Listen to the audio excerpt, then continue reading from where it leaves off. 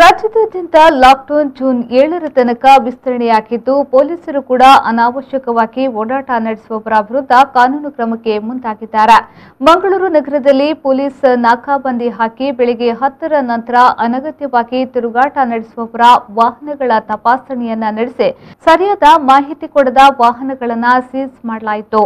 ನಗರದ circuit house ಮುಂಭಾಗದಲ್ಲಿ police commissioner N. Shashikumar ಅವರು ಫೀಲ್ಡ್ಗೆ ಇಳಿದು ಅನಾವಶ್ಯಕವಾಗಿ ವಾಹನ ಸಂಚಾರ ಮಾಡುವವರ ವಿರುದ್ಧ ವಾರ್ನಿಂಗ್ ಕೊಟ್ಟರು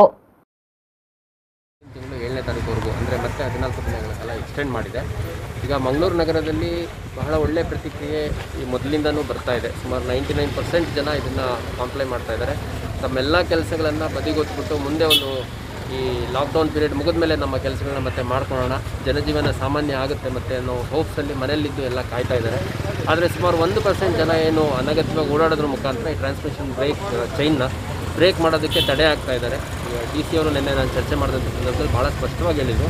ಈ ನಂಬರ್ಸ್ ಏನಿದೆ ಭಾಳ ದೊಡ್ಡ ಮಟ್ಟದಲ್ಲಿ ಕಡಿಮೆ ಆಗ್ತಾ ಇಲ್ಲ ಅಂತಂದು. ಅನಗತ್ಯವಾಗಿ ಓಡಾಡೋರಿಂದ ಯಾರು ಲಾ ಅಬೈಡಿಂಗ್ ಇದ್ದಾರೆ, ಮನೆಯಲ್ಲಿದ್ದು ಗೈಡ್ಲೈನ್ಸ್ ಫಾಲೋ ಮಾಡ್ತಾ ಇದ್ದಾರೆ, ಅಂಥವ್ರಿಗೆ ತೊಂದರೆ ಆಗ್ತಾ ಇದೆ. ಲಾಕ್ಡೌನ್ ಎಕ್ಸ್ಟೆಂಡ್ ಆಗೋದ್ರಿಂದ ಯಾರು ಮನೆಯಲ್ಲಿರ್ತಾರೆ, ಅವ್ರುಗಳು ಒಂದು ಹೋಪ್ಸಲ್ಲಿ ಇರ್ತಾರೆ. ಹೊರಗಡೆನೂ ಇದೇ ರೀತಿ ನಮ್ಮ ನಮ್ಮ ರೀತಿಯೇ ಎಲ್ಲರೂ ಕಂಪ್ಲೇಂಟ್ ಮಾಡ್ತಾ ಇದ್ದಾರೆ ಅಂತಂದು. ಹಾಗಾಗಿ ನಮ್ಮೆಲ್ಲ ಅಧಿಕಾರಿ ಸಿಬ್ಬಂದಿಗಳಿಗೆ ನಾವು ಭಾಳ ಸ್ಪಷ್ಟವಾಗಿ ಹೇಳಿದ್ದೀವಿ. ಯಾರ್ಯಾರು ಅನಗತ್ಯವಾಗಿ ರಸ್ತೆ ಮೇಲೆ ಬರ್ತಾರೆ, ಅನಗತ್ಯವಾಗಿ ಓಡಾಡ್ತಾರೆ ಮತ್ತು ಸಮಯ ಮೀರಿ ಅಂಗಡಿ ಮುಗ್ಗಟ್ಟುಗಳನ್ನ ಓಪನ್ ಇಟ್ಕೋತಾರೆ. ಅದಂತೆಲ್ಲರ ಮೇಲೆ ಕ್ರಮ ತಗೊಳ್ಳಿ ಅಂತ. ಈಗಾಗಲೇ ದಕ್ಷಿಣ ಕ ದಕ್ಷಿಣ ಕನ್ನಡ ಜಿಲ್ಲೆ ಮಂಗಳೂರು ಕಮಿಷನರೇಟ್ ವ್ಯಾಪ್ತಿ ಏನಿದೆ ಇದರಲ್ಲಿ ಸುಮಾರು ಒಂಬತ್ತು ಸಾವಿರಕ್ಕೂ ಹೆಚ್ಚು ಮಾಸ್ ವೈಲೇಷನ್ ಕೇಸಸ್ ಹಾಕಿದ್ದೀವಿ. ನೂರ ಎಪ್ಪತ್ತಕ್ಕೂ ಕೇಸ್ ಎಕಡೆಮಿಕ್ ಕೇಸಸ್ ಇನ್ನೂರ ಎಪ್ಪತ್ತಕ್ಕೂ ಜಾಸ್ತಿ ಹಾಕಿದ್ದೀವಿ. N D M A cases one ಸೆವೆಂಟಿಗಿಂತ ಜಾಸ್ತಿ ಹಾಕಿದ್ದೀವಿ. ಸುಮಾರು ಎರಡು ಸಾವಿರಕ್ಕೂ ಹೆಚ್ಚು ವಾಹನಗಳನ್ನು ನಾವು ಸೀಸ್ ಮಾಡಿದ್ದೀವಿ.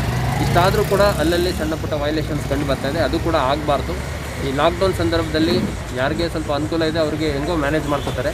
ಆದರೆ ದಿನ ಕೂಲಿ ಮಾಡಿ ದುಡಿಮೆ ಮಾಡಿಕೊಂಡು ಬಂದು ಹೊಟ್ಟೆ ತುಂಬಿಸ್ಕೋಬೇಕು ಅನ್ನೋಂಥವ್ರಿಗೆ ಭಾಳ ಸಮಸ್ಯೆ ಆಗ್ತಾಯಿದೆ ಅದನ್ನೆಲ್ಲ ಅರ್ಥ ಮಾಡ್ಕೋಬೇಕು, ಅರ್ಥ ಮಾಡ್ಕೊಂಡು ಎಲ್ಲ ಕಂಪ್ಲೇಂಟ್ ಮಾಡಬೇಕಂತ